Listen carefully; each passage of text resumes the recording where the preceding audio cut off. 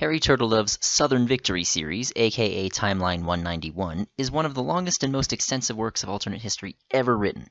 It explores a world where the Confederate States won the American Civil War and covers over 80 years of history from 1862 all the way up to 1944. The series consists of 11 books in total, which are further split up into four different series How Few Remain, the Great War Trilogy, the American Empire Trilogy, and the Settling Accounts Tetralogy. It's a really long series, and probably my favorite example of the alternate history genre. I might even review it one day. While this setting does parallel some aspects of our real life timeline, such as the rise of fascism and the world wars, the world is completely different from our own. On the macro level, there are entire countries and political movements that never come into existence. And on the micro level, there are some subtle shifts in American society, like government rationing and suppression of civil rights.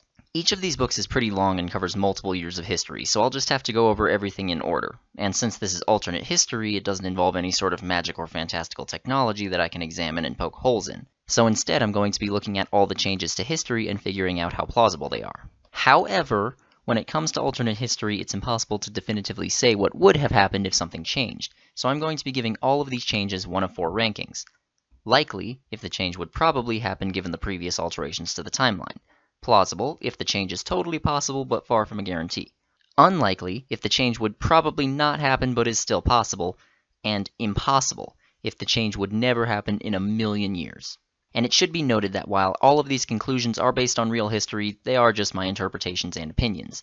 If you have disagreements, feel free to voice them. Just make sure that you have actual evidence and arguments behind them. I'm not a historian, I'm just a guy that likes to study history. It's entirely possible that I missed or misunderstood something. It should also be noted that while the whole world changes in this timeline, the books focused almost entirely on events in North America. I'll try to talk about the rest of the world as much as I can, but this will primarily be from an American perspective.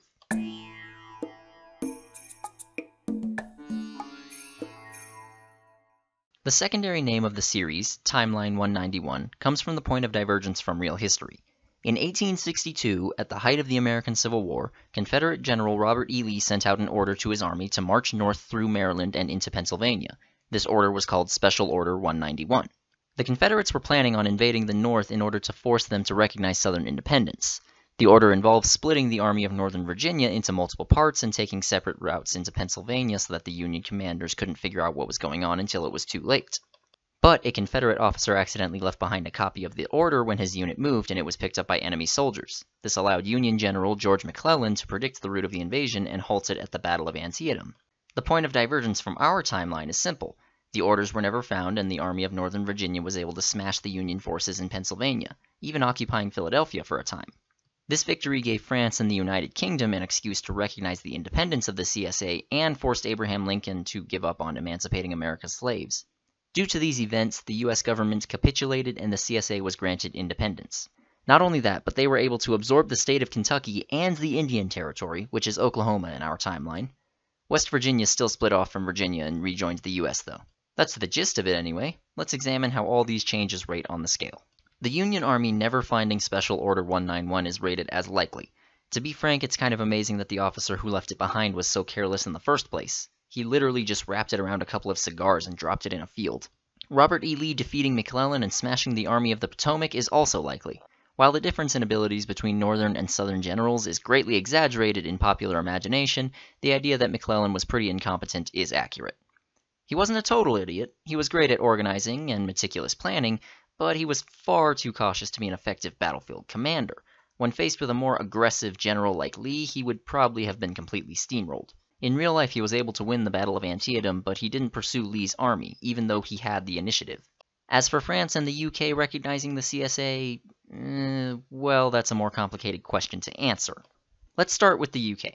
The idea of them supporting a nation founded for the express purpose of preserving slavery is very unlikely, almost impossible.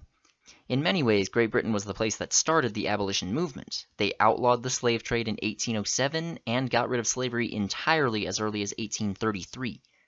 The general populace was very anti-slavery. They viewed the British Empire as a force that uplifted savages, while the other European empires were simply out for profit. Slavery was uncivilized, in other words. In fact, in real life, the CSA tried to strong-arm European powers into helping them by embargoing exports of cotton. Instead, they just started getting their cotton from Egypt and India, which wound up being cheaper anyways. The question of France is a little more difficult to answer, though. At the time, France was a monarchy run by Emperor Napoleon III.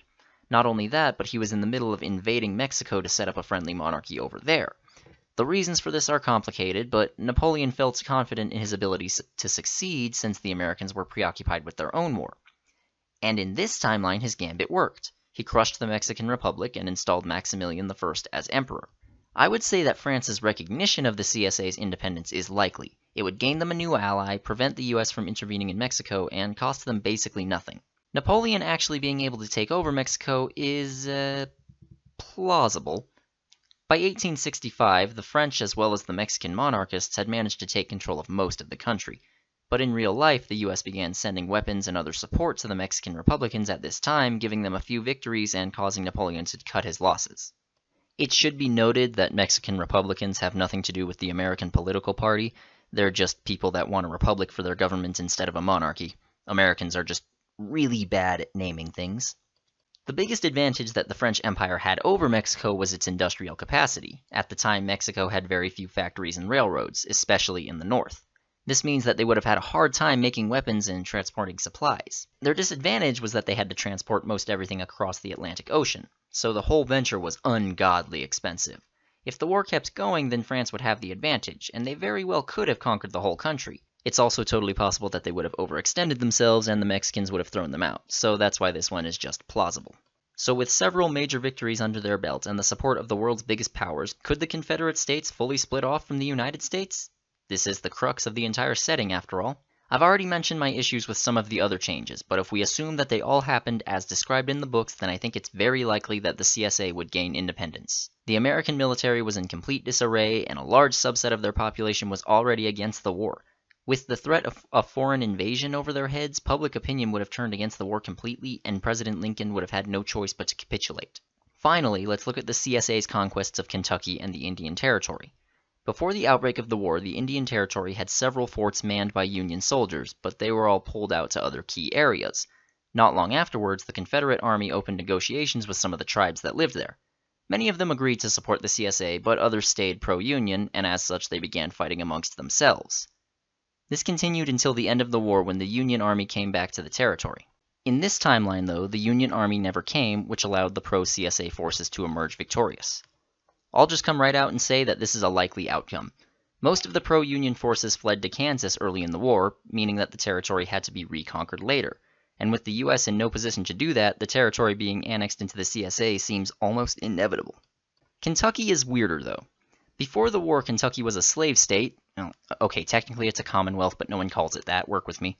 And it actually declared neutrality early on. The majority of the population was pro-Union, though, as well as most of the state legislature. In September of 1861, Confederate forces occupied the town of Columbus, which caused Union forces to move in and intercept, which caused the legislature to officially declare for the Union. The CSA attempted a full-on invasion in 1862, and without going into too much detail, it went really well for them. They were forced out a few months later by an advancing Union army. However, this army wouldn't have existed in Harry Turtledove's timeline, so the CSA would probably have taken control of the whole state. I just don't think that they could have maintained political control of a region that was so sympathetic to the Northern cause is all. There were still plenty of Confederate sympathizers in Kentucky, though, so this change is rated somewhere between unlikely and plausible. As for West Virginia, I think that it would go more or less the same as in real life. See, it was part of Virginia at the time, but after the government in Richmond declared independence, another government formed in the Northwest. At first, they claimed to be the rightful government of all Virginia, but by April of 1862, they had declared themselves to be a new state.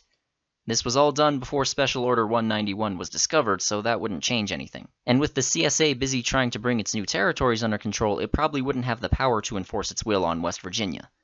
Of course, they would really resent losing any territory, so they might throw all of their weight into taking it back. So it's a wash. This is just a plausible outcome. So one tiny change to the timeline results in a North America that's totally different than in our world. Bigger changes are coming, though, especially once we reach...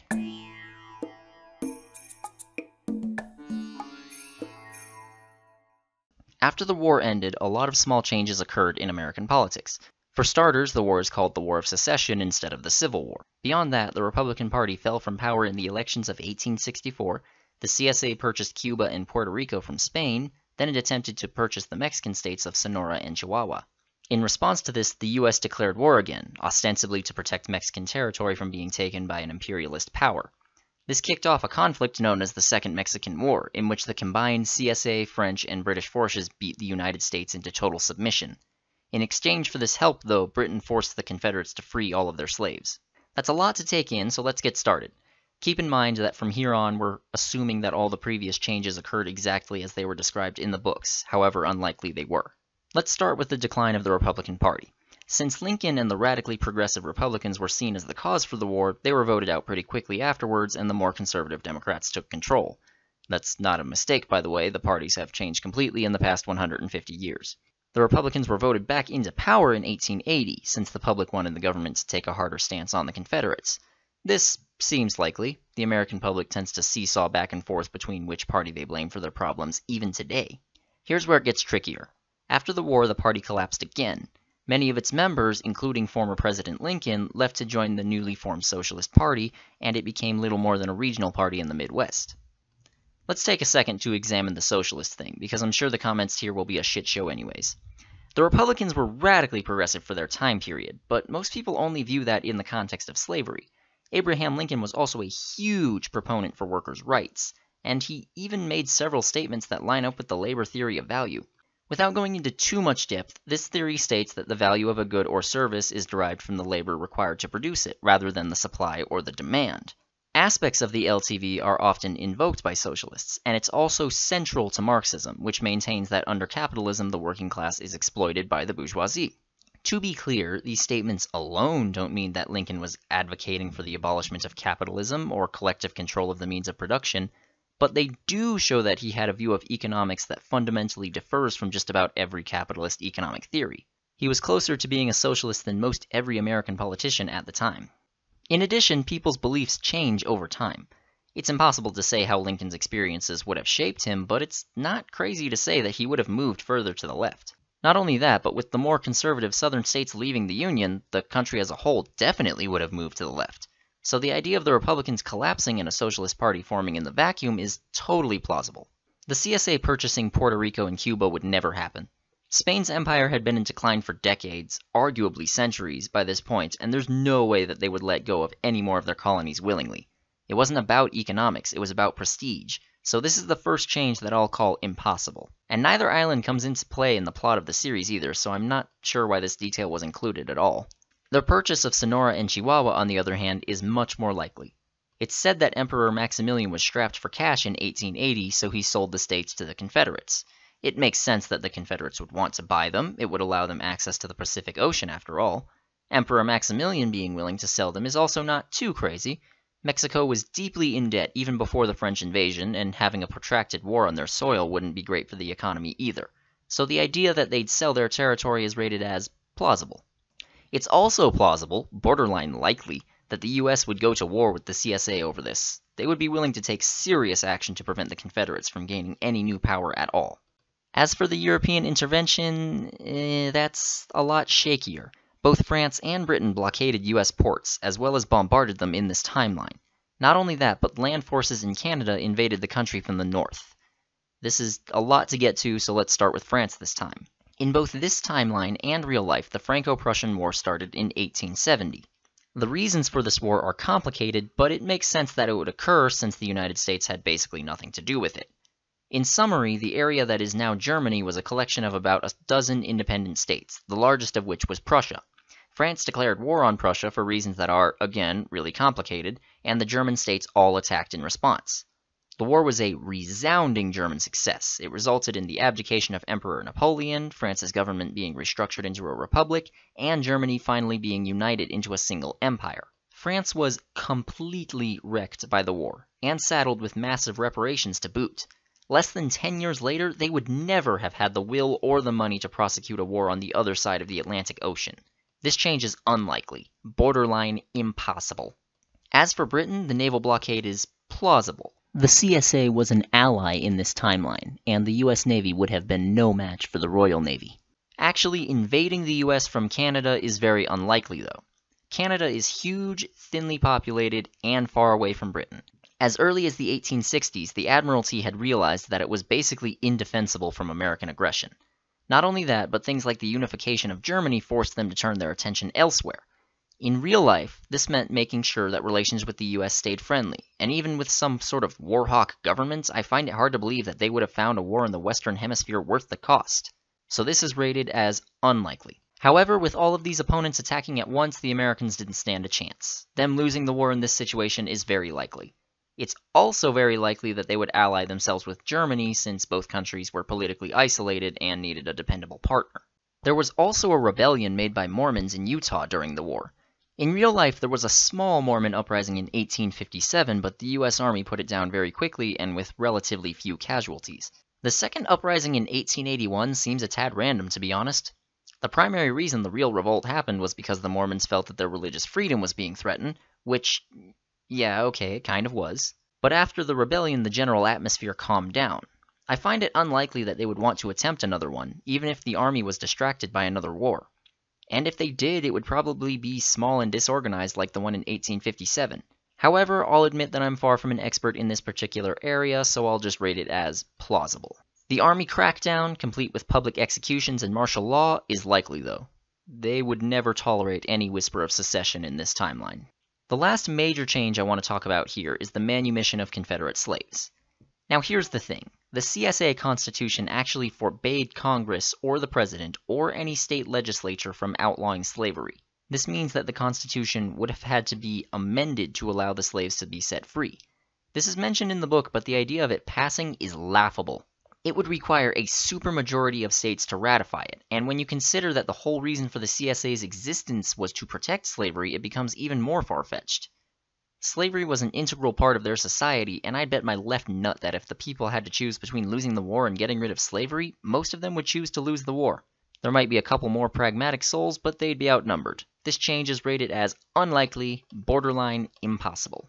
And that's how the world looked in the spring of 1882. But don't worry, things are about to get crazier.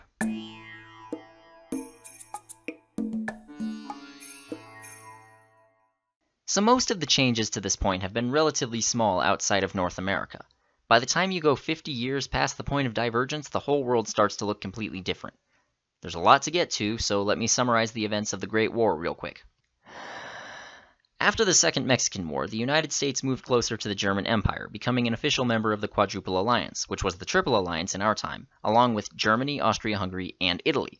Meanwhile, the CSA became an official member of the Quadruple Entente with Russia, France, and the UK. And while the black slaves in the Confederacy were freed, they still had to live in apartheid-like conditions. They had to carry passbooks with them at all times or risk arrest, and they weren't even allowed to have surnames. Just like in our timeline, the heir to the Austro-Hungarian throne was assassinated in 1914, which caused diplomacy in Europe to collapse and World War I to begin. The Entente and the Alliance, aka the Central Powers, went to war with each other, which meant that the US attacked Canada and the CSA. The CSA had some early successes, even capturing Washington, D.C., but the front lines soon stagnated and the majority of the fighting became limited to trench warfare, at least at first. Around a year into the war, the black population of the CSA, with the support of American weapons, rose up to throw off the yoke of their oppressors. But it wasn't just a revolution for racial equality. The rebels were full-on communists, and given the nickname Reds because Americans are bad at naming things. A dozen small socialist republics popped up overnight and were crushed one by one over the course of a year. While the line stagnated in the east, the Americans slowly began to press the Confederates back in the west. They captured the entire states of Kentucky and Sequoia, which is Oklahoma IRL, as well as chunks of several other states. The leadership on both sides is shown to be fairly incompetent, but the Americans had an advantage in their much bigger population and industrial base. There was also another Mormon uprising in Utah, funded by the Confederates because turnabout is fair play. The U.S. made slow progress into Canada, capturing Quebec and setting up an independent republic there. The American Navy also captured the British colony of the Sandwich Islands, Hawaii in our timeline, and managed to hold it against an onslaught from both the British and the Japanese. Both sides developed tanks during the war. However, the Americans built a lot more of them and they figured out how to use them effectively pretty early on. They were able to break through the stagnated lines in the east and capture most of Virginia, causing the CSA to surrender by the spring of 1917. Meanwhile, in South America, Chile, Paraguay, and Brazil sided with the Central Powers. They blockaded and attacked Argentina, cutting off its food shipments to Europe. Not much detail is given about the war in Europe. We know that Italy stayed neutral, which it didn't do IRL, and that Germany won the Battle of Verdun in 1916. Sometime in early 1917, the French army mutinied and refused to fight any longer, which forced the French government to surrender. Around this time, the Russian Civil War also started up, which knocked them out of the war as well. In Ireland, a rebellion against British rule took place, supported by the Central Powers. This left the United Kingdom alone against the combined might of the Central Powers. Isolated and facing starvation, they finally surrendered in summer of 1917. In the aftermath of the Great War, a lot of things change. Germany intercedes in the Russian Civil War on the side of the Tsar. All the communists, anarchists, liberals, and other groups that opposed his rule were crushed. In exchange, Germany carved out chunks of Russian territory to make their new client states of Ukraine and Poland. They also turned Belgium into a satellite state.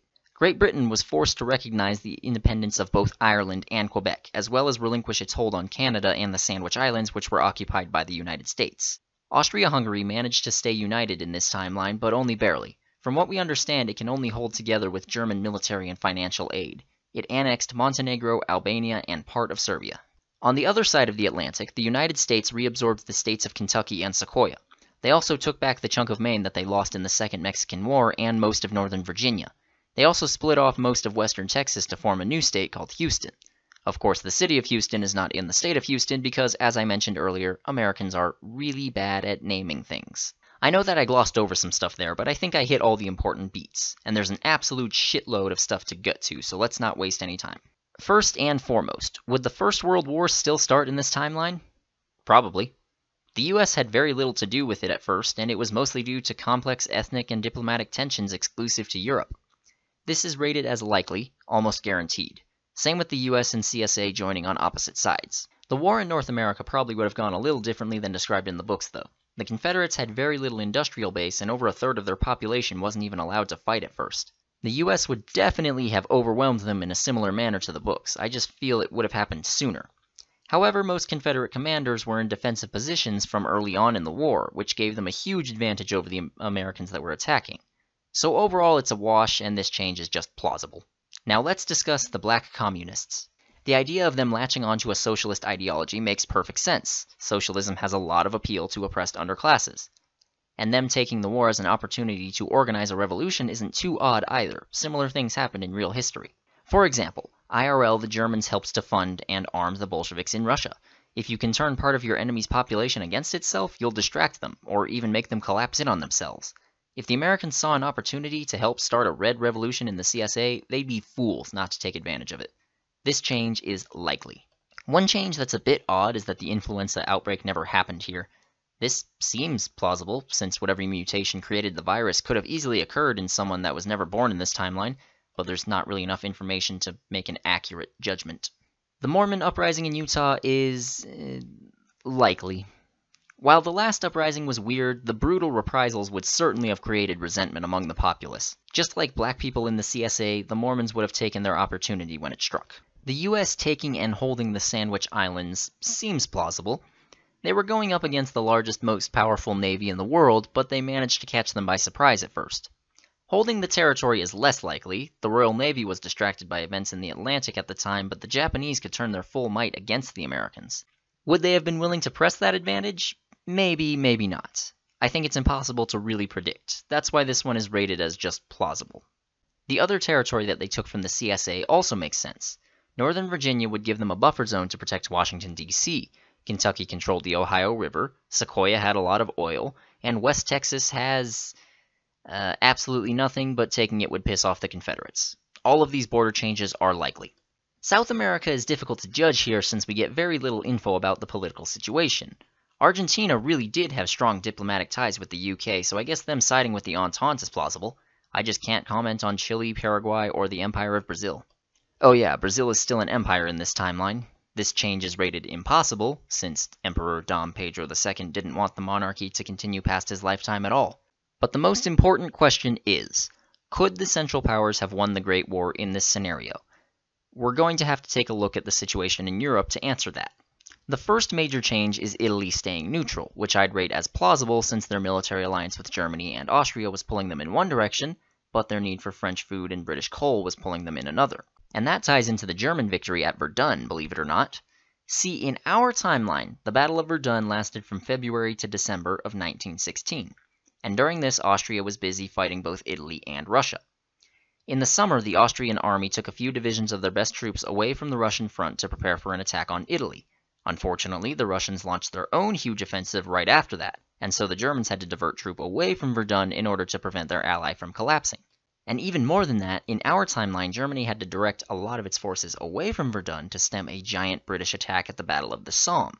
But if the British Army was preoccupied with a massive Irish rebellion and the war in Canada, and they had a food shortage because of a blockade, then there's basically no way that they would have had the resources to launch a major attack like that. Germany came pretty close to taking the Verdun citadel in real life. If they had a few hundred thousand extra men to throw at it, I have little doubt that they would have been successful and if they could have built up defenses around the city, then the French would have had a bitch of a time trying to retake it.